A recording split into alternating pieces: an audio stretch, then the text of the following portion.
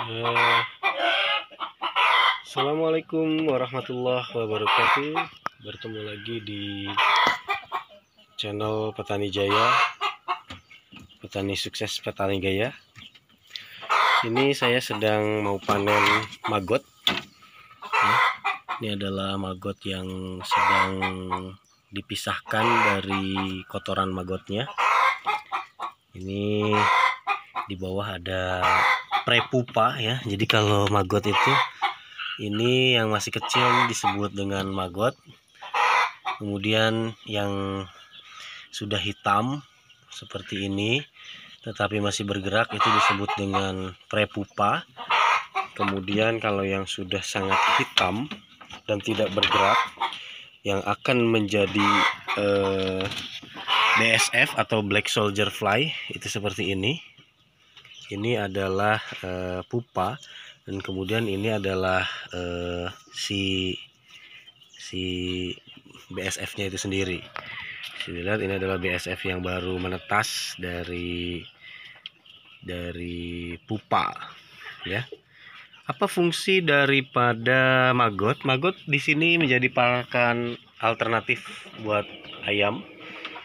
Ya, jadi maggot di sini adalah untuk akan selain daripada pur gitu ya. Di sini sangat berlimpah sekali maggot sehingga untuk menghasilkan maggot bisa dibilang cukup mudah. Tinggal di maintenance saja e, caranya seperti apa ya. Dipancing dengan fermentasi e, lunte atau dedak ya. Jadi dedak yang difermentasi diasamkan sehingga menimbulkan bau yang yang cukup menarik buat uh, si uh, eh, BSF tersebut ya. Bisa dilihat ini adalah salah satu fermentasi daripada uh, dedak yang kemudian di atasnya diisi dengan beberapa sarang yang nanti dia akan bertelur. Kita coba cek ya nanti kalau sudah bertelur kita masukkan ke dalam uh, fermentasi untuk dia makan dan selanjutnya menjadi uh, maggot seperti ini. Baunya asam tetapi tidak menimbulkan pencemaran sebenarnya gitu ya. Nah, di sini ada yang sudah ditanami oleh jadi di dalam sana. Nah ini di sini ada yang sudah ditanami telur-telur maggot ya hasil daripada bertelurnya maggot di sini. Di selah-selah daripada papan in, triplek ini.